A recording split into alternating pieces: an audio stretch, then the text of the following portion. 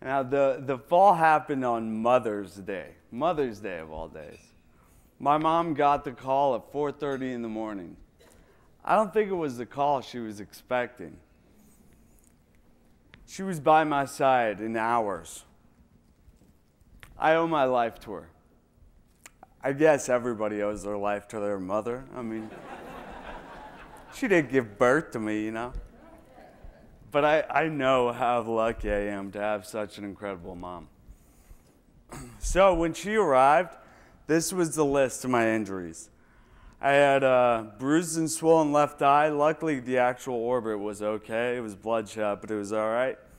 Um, I had a fractured right ilium and a fractured right sacrum, which are both hip bones. I had three cracked ribs on my left side, a nasal fracture, and lacerated or deeply cut left kidney, and both my lungs were severely bruised. Now, the chief concern at this point was my inability to breathe. They were suctioning fluids that I had aspirated from my lungs every chance that they got. And uh, as far as my head goes, the CT scan showed that I had a bruised frontal cortex and a subdural hematoma, which is blood gathering in one of the outer layers of the brain. Now, as long as this list was, there was nothing on it that should have prevented me from waking. So they tried to wean me off of oxygen to encourage me to breathe on my own. Now, the tube that they had down my throat was a soft plastic one, and my involuntary reaction was to bite down as hard as I could, which of course stopped all oxygen from getting to my lungs. So my blood oxygen desaturated to 60% of normal.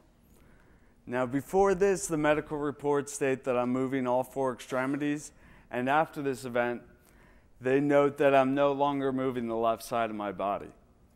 So the doctors realized that they weren't getting the whole picture, so an MRI scan was ordered. And here's what they found. The neurologist came in and told my mom, Well, we know I won't wake. He has a severe diffuse axonal injury. And my mom was like, What's that? And apparently the neurologist just shrugged his shoulders and said, You get what you get, and closed my case with neurology. So my family did what anyone would do, and they consulted Google.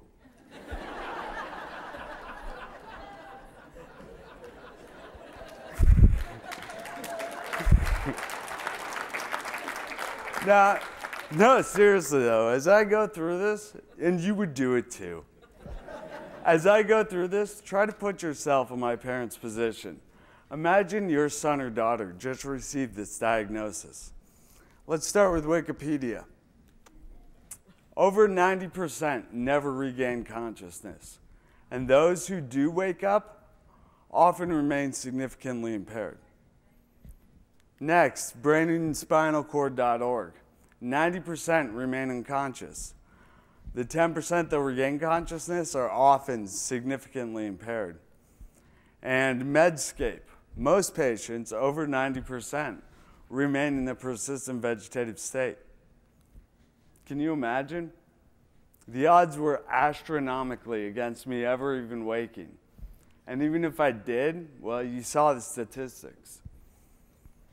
So now let's add that to the list.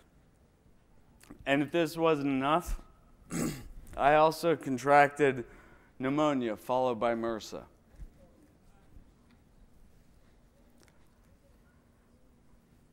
I look at this list and imagine my mom hearing this rattled off daily.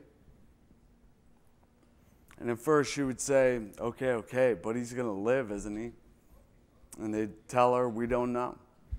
So she stopped asking. 12 days, 12 days after in a coma, I beat the odds.